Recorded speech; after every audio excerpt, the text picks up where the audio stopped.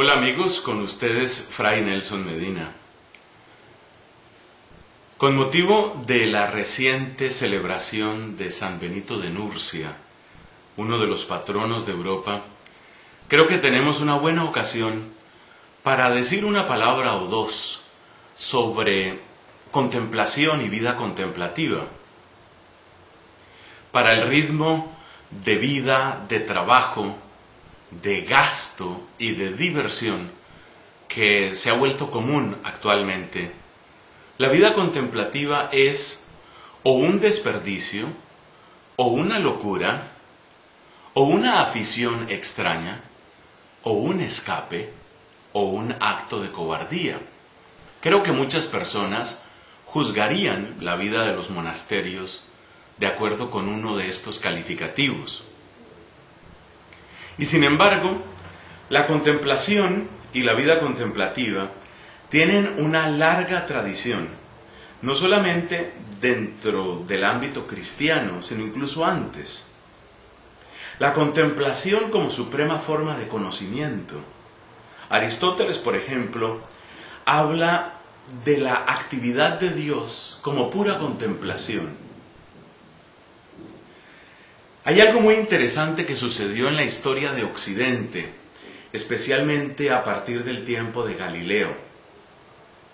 Galileo introdujo a comienzos del siglo XVII el uso del experimento para acceder al conocimiento. Especialmente con el recurso a planos inclinados, dejando rodar esferas por planos inclinados, Galileo fue capaz de aplicar leyes de la matemática a la descripción de fenómenos de la naturaleza. En sí mismo, este es un gran logro. Pero más admirable aún es el hecho del diseñar un experimento. La anécdota cuenta que Galileo también dejó caer dos esferas desde la parte de arriba, la azotea, el balcón superior de la torre de Pisa. Según Aristóteles, los objetos más pesados deberían caer más rápido. Galileo tomó dos esferas, una mucho más pesada que otra, y las dejó caer. Hizo un experimento. Lo que se hubiera podido suponer desde la perspectiva de Aristóteles, que el objeto más rápido en caer es el más pesado, eso no se cumplió. El experimento desmintió la hipótesis. Y una vez más repito, no solo el resultado en sí, sino sobre todo el método es lo que vino a cambiar las cosas, a cambiar las reglas del juego en Occidente. Con estos y otros experimentos, Galileo vino a demostrar que para el conocimiento de la naturaleza es indispensable hacer algo, interactuar. El experimento se convirtió en la fuente estándar de conocimiento. La contemplación en cierto sentido es lo contrario. La contemplación es como un paso atrás. Es como un sustraerse. En la contemplación, hasta cierto punto, prima el aspecto pasivo. Mientras que en el experimento hay que diseñar algo y hacer algo, en la contemplación de lo que se trata no es tanto de hacer, sino más bien de recibir. Los antiguos monjes definían la contemplación como un padecer a Dios, patideo. No es padecer con Dios, o padecer como Dios, o compadecer. Es sufrir, o digamos de un modo más neutro, recibir el impacto de la divinidad recibir, acoger el impacto de la obra divina.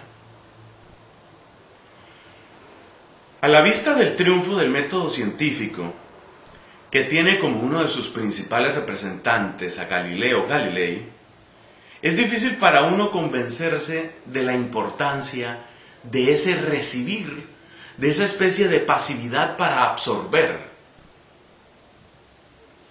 Pero la misma ciencia, hasta cierto punto, abre esa puerta.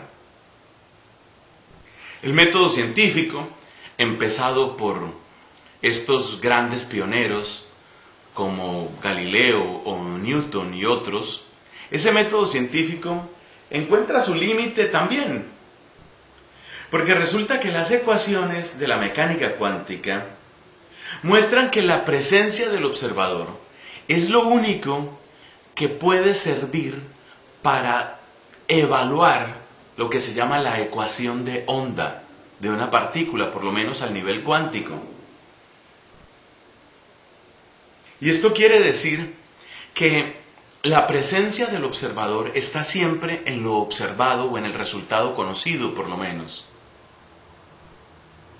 Es decir, que la clase de conocimiento que podemos lograr interactuando con la naturaleza es el conocimiento finalmente de nuestra interacción, del cual podemos deducir hasta cierto punto cómo es la naturaleza, pero solo hasta cierto punto. Ese cierto punto es el que viene dado por la famosa ecuación o por el famoso principio de incertidumbre de Heisenberg. Si uno relaciona, por ejemplo, la posición de una partícula y el momento de esa partícula, que equivale a la multiplicación de la masa por la velocidad, si uno relaciona la posición y el momento, resulta que cuanto más claramente se conoce la posición, menos se conoce el momento. Y cuanto mejor se conoce la cantidad de, movimiento de esa partícula, entonces menos se conoce la posición. Por supuesto, en el acto de tratar de fijar la cantidad de movimiento de la partícula, estoy interactuando con ella, ahí aparece mi actitud como experimentador, y lo mismo si trato de fijar la posición. Esto hace suponer que sin descartar y sin minimizar y sin menospreciar el método científico, hay un límite para él, hay un límite en lo que puede contarnos. Hay otros ejemplos bien simpáticos, sobre todo cuando entramos en el conocimiento humano. Por ejemplo, ¿cómo puedo conocer una persona con la que yo no interactúe de ninguna forma? Si entendemos por interacción el hecho de recibir alguna clase de información de esa persona, la respuesta es claramente paradójica. Yo no puedo llegar a conocer algo de alguien si no tengo algún tipo de interacción con esa persona. Lo que quiero decir es que estas observaciones no valen únicamente para las partículas subatómicas, sino que también en seres macroscópicos como nosotros. Imaginémonos un investigador, un sociólogo, por ejemplo, que quisiera acercarse a alguien por la calle y le dice, ¿cómo sería usted si yo no le hubiera hecho esta pregunta? Nosotros no tenemos una respuesta para eso. Hay un límite a lo que se puede decir sobre nuestro propio futuro, porque los eventos que interactúan con nosotros nos hacen distintos lo que cada uno puede decir de sí mismo no es independiente de una historia, de un recorrido, de una trayectoria. Por eso también hay un límite para aquello de ponerse en los zapatos o ponerse en la situación de otra persona. La contemplación es como una especie de ejercicio voluntario de despojo. Es un despojo que intenta convertirme de alguna manera en paisaje. Es la, es la disminución, es la desaparición de la interacción hasta cierto punto.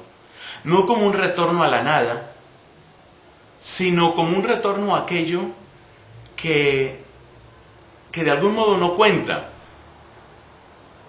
Esto se relaciona con lo que nos dice San Pablo en su famoso himno de la carta a los filipenses. Ahí nos dice que, que Jesús, obrando como un hombre cualquiera, la contemplación nos reduce hasta cierto punto a eso. Es como ser uno más. Mucha gente piensa que el tiempo de la vida oculta de Cristo, antes de su ministerio público, quiero decir, fue un tiempo perdido. Y resulta que no, en ese tiempo, en ese tiempo en el que Él es cualquiera, entonces Él es como todos. Entonces Él ahí se adentra, ahí Él penetra la realidad de todos. Decía Cervantes en el Quijote, si a los reyes llegaran las noticias o las cosas como son otros tiempos, correrían. En su altísima posición, el rey tiene poca ocasión de mirar las cosas desde ese otro ángulo. Y la contemplación es irse a ese otro ángulo, el ángulo del despojo, el ángulo del común. Hay un tremendo poder, hay un poder inmenso que surge de llegar a eso que es común, a eso que es normal, a eso que es de todos. La contemplación, al contrario de lo que se piensa, no es la búsqueda de una torre altísima, es la búsqueda de aquello que es lo más común, de aquello que es lo más común de todos y de todo. Esa fue la vida oculta de Cristo también. Y desde ese ángulo, en donde uno es solamente paisaje, en donde interactuar con uno no importa, entonces lo que se ve, lo que aparece, es mucho más completo, es mucho más profundo. Porque entonces las verdades llegan al príncipe como son. La vida contemplativa se convierte así en un acceso profundo a la realidad, un acceso profundo a la vida y es esa clase de conocimiento la que formó la humanidad de Cristo para anunciar la noticia del Evangelio. Qué profunda es la vida contemplativa. Que Dios nos conceda verdaderos contemplativos. ¿Cuánto los necesitamos?